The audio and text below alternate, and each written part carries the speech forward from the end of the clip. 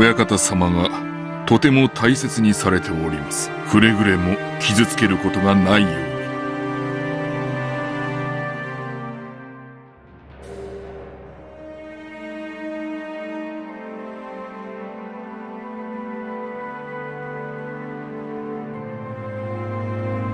よーし気をつけろ。そっとだぞ。そっとけ。じゃあ転ばしていいっすか？よーし始めるぞ。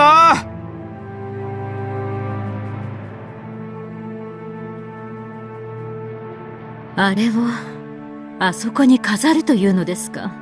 そうご希望だこの屋敷とて。親父殿の玩具に過ぎんよ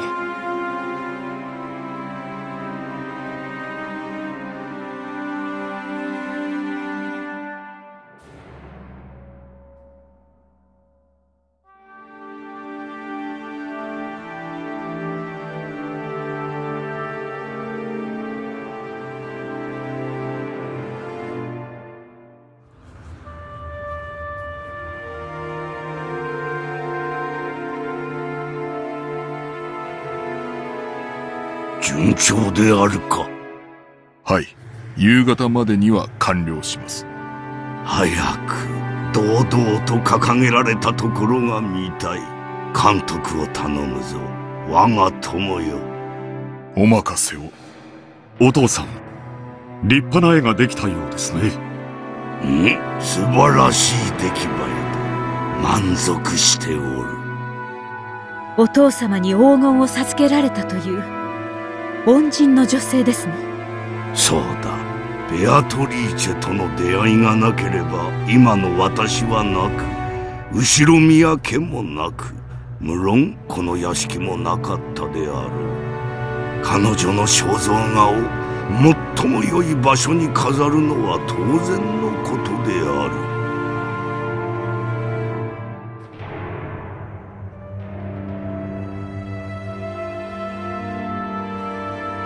親方様碑文のプレートです。内容のご確認をお願いいたします。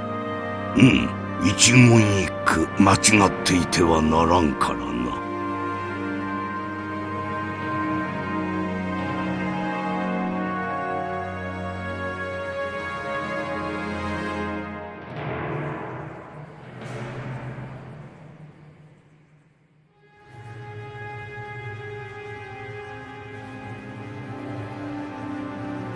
お父様これは？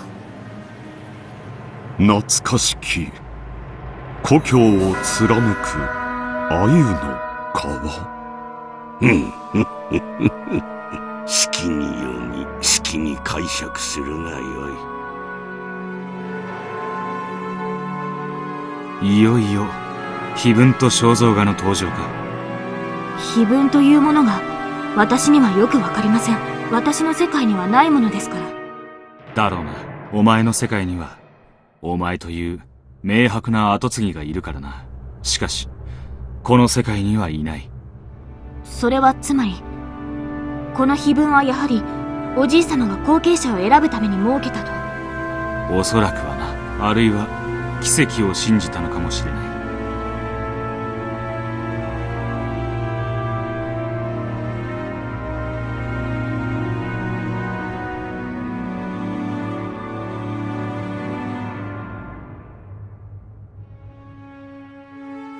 つまりこの碑文はやはり誰もが想像するように魔女ベアトリーチェを復活させる儀式を記したものなのですか？普通に考えればこれはそう読み取れるでしょう。13人の生贄を捧げれば魔女が蘇ると読み取れる謎の儀式。しかし本当の儀式はそれではない。奇跡的に解ける誰かを待つ。そちらこそが本当の儀式。しかし運命とは皮肉なもの。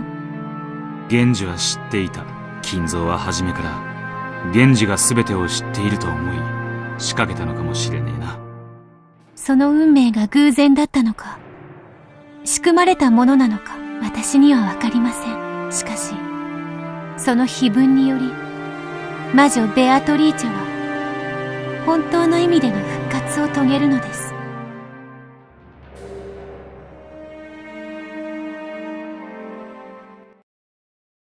第8章黄金鏡への旅立ち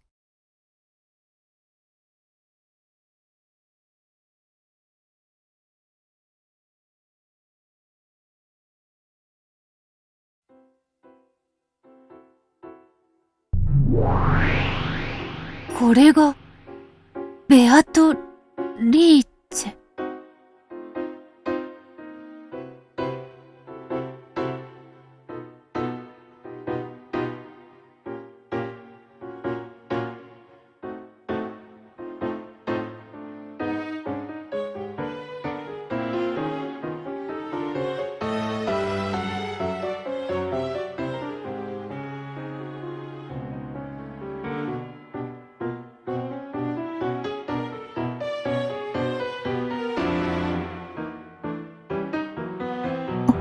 これは何か？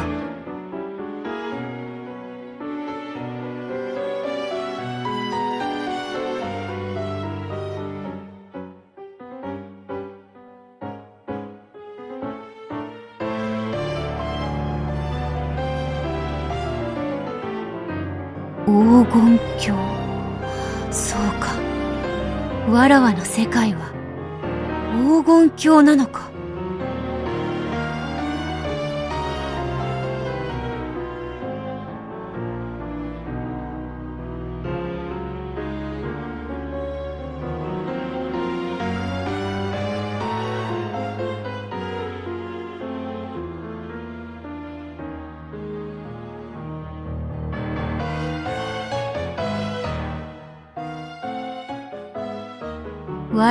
この儀式を執り行えば真の復活を得るというのか。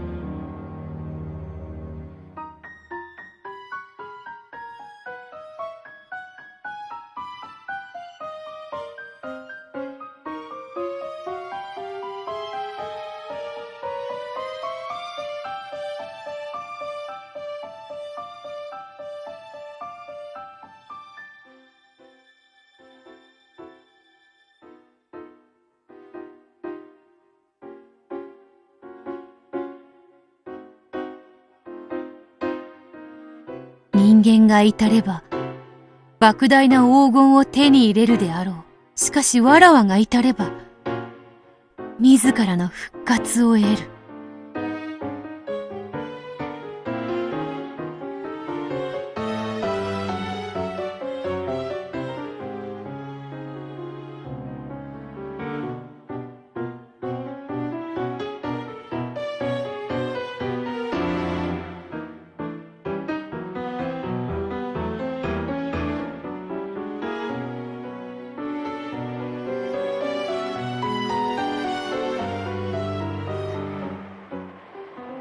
あの碑文、宝の隠し場所を示しているともっぱらの評判です。噂では、親方様は10トンもの黄金をお隠しになられたとか。ベアトリーチェに授けられたとかなんとか、僕も噂を聞いたことはあるよ。10トンの黄金なんて、すごいですね。想像もつかないです。そんなにあったら何に使えばいいやら、一度手に取ってみたいですね。手に取るだけと言わずに、使い切ってみたいですね。でも、碑文を、黄金の隠し場所の暗号を、なぜわざわざ掲示されたのでしょうね。決まってるよ。解けるもんかっていう闇に決まってる。親方様からの挑戦ではないでしょうか。これが解ける知恵者はおらんか、という。親方様は、どうやらクラウス様に素直に当主の座を明け渡されるつもりはないご様子。これはひょっとすると、先に解いたものを次期当主にするという意味かもしれませんよ。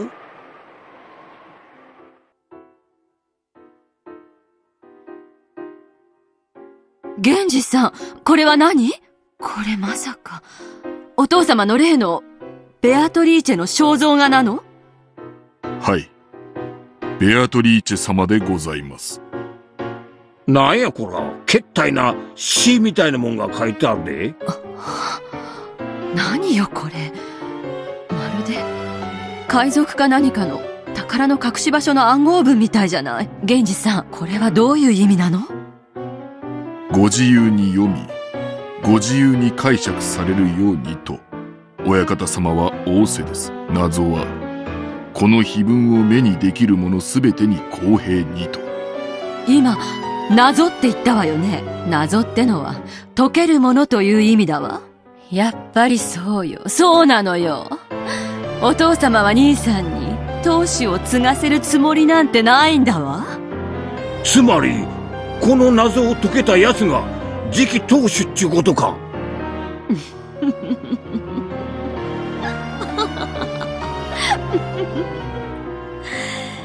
やっと巡ってきた。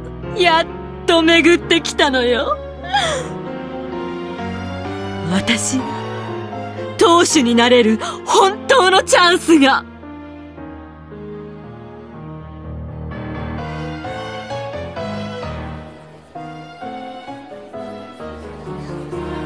桐江はどう考える？その碑文が黄金の隠し場所を示している可能性は非常に高いわね。姉貴はこの碑文を解けた奴が次期当主に選ばれるんじゃないかと見てるらしい。その線もあり得るわね。お父さんはクラウス兄さんを次期当主の器と認めていない。これは余命いくばくのお父さんが仕掛けた最後の大仕掛けかもしれないわね。つまり本当にこの謎を解けば10トンの黄金と次期当主の座が転がり込むってわけか。建前上はねでも絶対に解けるものかという悪意も感じるわ。簡単には解かせてもらえないでしょうよ。だよな 当分の間は酒の魚はこいつで十分そうだぜ。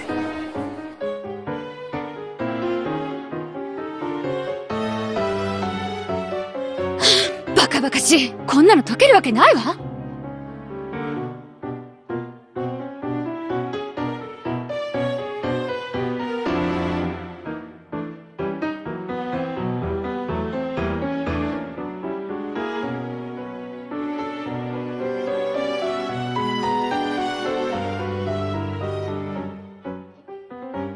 父様の懐かしい故郷がわかるのよ。鮎の川って何？川なんていくつもあるわ。里って何よ？ああ、さっぱりだわ。うんどうしたの？ママ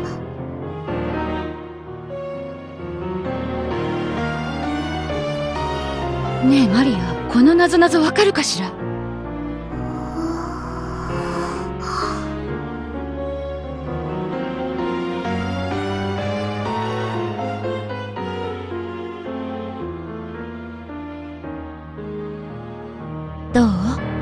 やっぱりちょっと難しいかしら。これは魔女の儀式だよ。ベアトの復活の儀式だ。どうしたのこれ？ねえママどうしたのこれ？ベアトに聞いてみよう聞いてみよう。きっとこの儀式でベアトは本当の力を取り戻すよ。もう半魔法の毒素なんかに悩まされずにみんなの前に姿を現して魔法の奇跡を見せてくれるんだよ。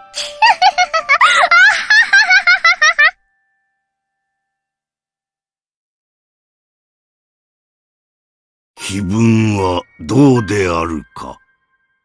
親族の皆様は、競って謎解きに挑まれているようです。うんうん。それでよい。誰もが挑め。そして誰にも解けぬ。奇跡に祝福されたものを除いてな。気を許せば、私とて解き方を防出しそうになる。あれは、それほどに難解だ。難解であるがゆえに、解けた時、奇跡となる。そうだ。これは私が人生の最後に望む最後の奇跡。最後の魔法なのだ。あの難解な碑文の謎が解ける奇跡が訪れた時きっとそれはベアトリーチェの復活を意味するのだ。おおベアトリーチェよ。見たいもう一度。その面影が見たい。もはや富も名誉も何もいらん。そなたに最後に一目会うことができたなら。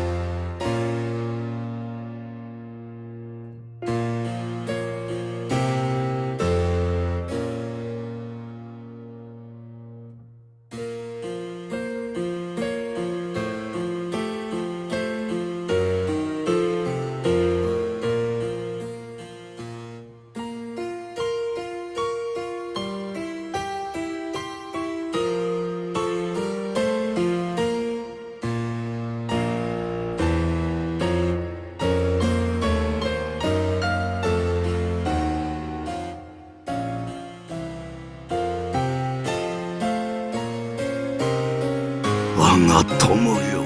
我が人生最後の魔法は私に奇跡を見せてくれるだろうか。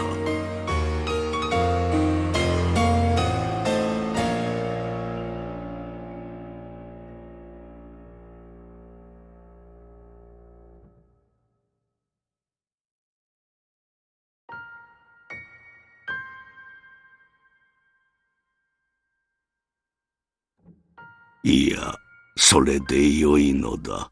誰にも解けぬ。だから奇跡なのだ。親方様一つお教えください。ん？何か？もしもでございます。奇跡が起こり。ん？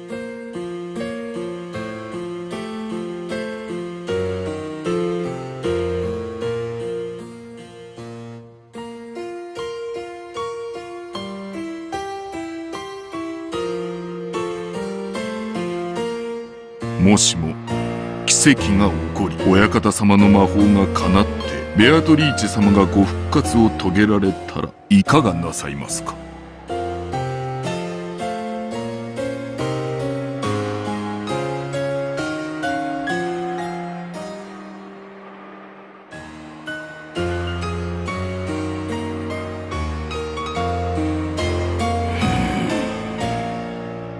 親方様はすでに一度ベアトリーチェ様が生まれ変わるという奇跡をご経験なされております。その奇跡が再び起こったならいかがなさいますか？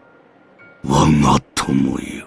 そなたはやはり私を咎めるのか？親方様とベアトリーチェ様のお心の全てを私に知ることはできません。しかしベアトリーチェ様がどのように親方様をお慕いしていたのかその一部は存じ上げているつもりでおります。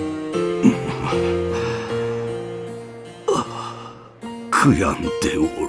お前は信じぬだろうが私は老いてから全てを後悔したのだ。